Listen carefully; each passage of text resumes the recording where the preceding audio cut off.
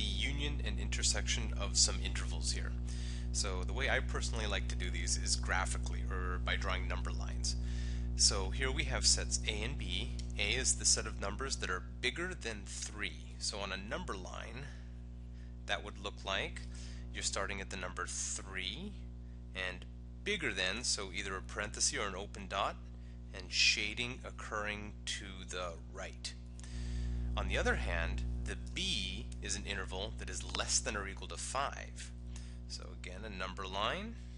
This time we're at 5, and now we want closed dot because it's less than or equal to. The equal to gives us the closed dot, and then shading to the left. So I got some shading to the left and some shading to the right. So overall, what are the two answers here?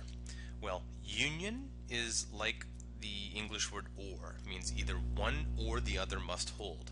So when we're trying to put together the union, A union B, go down to the number line. We'll put the indicator at 3 and an indicator at 5.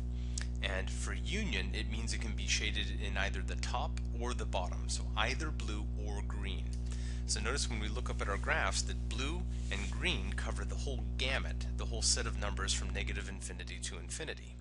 Right? The numbers that were located here were shaded by the bottom graph. The numbers that are in between 3 and 5 are shaded by both the green and the blue, and the numbers that are located above 5 are all shaded inside of the blue picture, the top one. So the interval the answer to this would be all numbers from negative infinity to infinity. On the other hand, if we consider A intersect B, that means the word AND. So now you're looking for ones that are shaded in the top and in the bottom. So again, using 3 and 5 as placeholders, we can see that we don't shade things to the left of 3 because they're only in the green.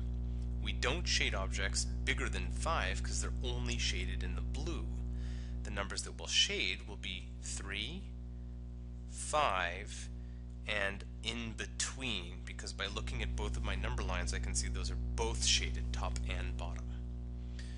Okay, a little bit more quickly, let's look at C and D here. So C, interval that is supposed to be less than or equal to negative 1. So here's negative 1, solid dot, and left, and then for the second example, or for set D, we want to be bigger than 4. So again, a number line, 4 with an open dot, and shading to the right. So now, what are the answers to the two questions?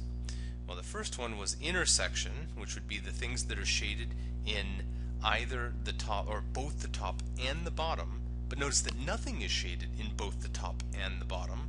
So that means the answer here is no numbers are shaded. Absolutely nothing at all, and that's the empty set. Bottom one, we have C union D. So here we want the ones that are shaded in either the top or the bottom. So top, blue, gives us the numbers from negative 1 on down, and the top in the green gives us the numbers going from 4 and upward. So the answer for the union would be negative infinity up until negative 1 and unioned with 4 off to positive infinity. So now why don't you pause the video and try one on your own. Here's an example, E and F. Both of these are going less than. So assuming you paused the video and tried it out on your own, let's try to do it together now and see if we get the same answer. So two number lines, top one in blue will go to the number negative 2, less than or equal to, so we'll shade and shade to the left. The green one, the bottom one, would be x less than 1, so we'll go to 1, put an open dot, and shade to the left.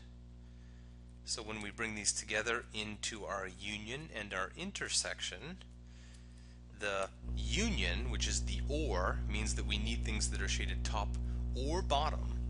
So we will be going to 1 and below.